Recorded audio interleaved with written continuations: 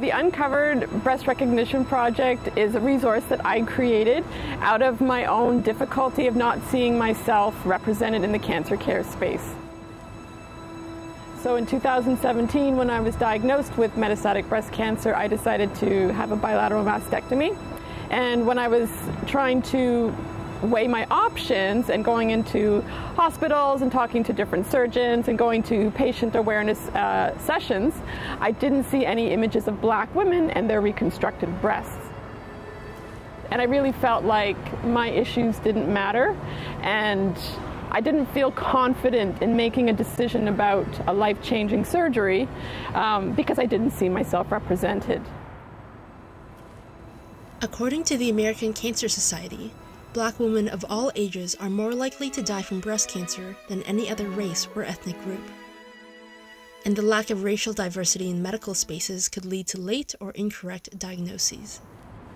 And what really concerned me was that if my sister, my brother, my aunts, my uncles, my cousins, my nieces, who were diagnosed with breast cancer and are black, that they would go through the same experience that I had, nothing would have changed.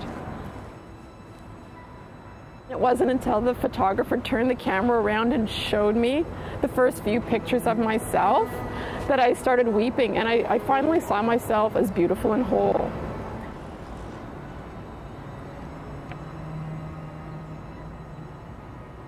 And it's not just the BIPOC community that faces additional challenges in seeking medical care. Research shows that members of the LGBTQ community are also disproportionately affected with lower screening rates.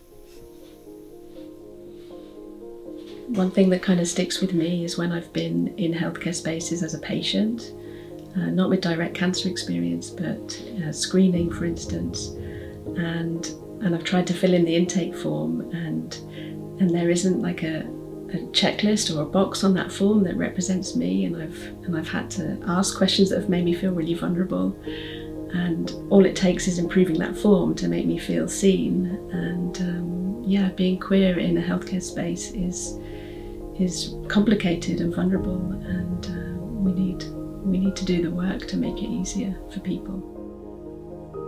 When people enter the um, healthcare system it's very kind of cis and heteronormative so, for example, relationships are often misidentified, and it just adds this kind of extra layer of difficulty at a time when people are already going through something that's very emotionally challenging and physically challenging, just harder mm. to make themselves known. Being queer, trans, or non binary is just one element of somebody's identity, and you have compounding experiences of oppression. So, you're not only experiencing homophobia or transphobia, you might experience racism the same time, hmm. or any other kind of ism in the healthcare system.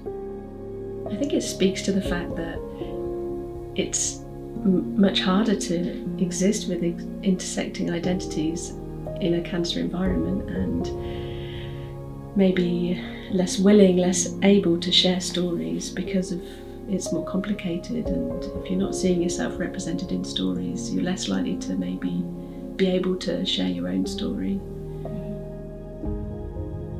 Kimiko Tobimatsu, a young, queer, and mixed race woman, decided to push back and share her own story through unconventional means a graphic memoir. The most common images that we see, and it's getting a bit better, but the most common images are those of middle-aged white women in, you know, getting breast cancer and kind of traditionally feminine women which uh, of course that's a demographic of people who get cancer and breast cancer, but it's, a, it's one of the many demographics. And so I think for those of us who don't fit that model, it can feel isolating that we're not seeing ourselves uh, reflected.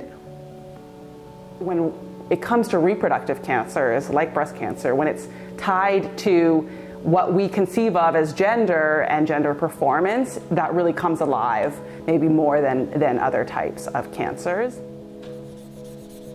We um, really wanted to tell a different type of cancer story, a different type of health story, um, with the hopes that it will encourage other folks to think about their own experiences and put that out there so that we can have a much greater diversity um, of health stories that, that are out there and that are, um, you know, reflect the variety of Canadian experiences. Katherine Cheng, Global News.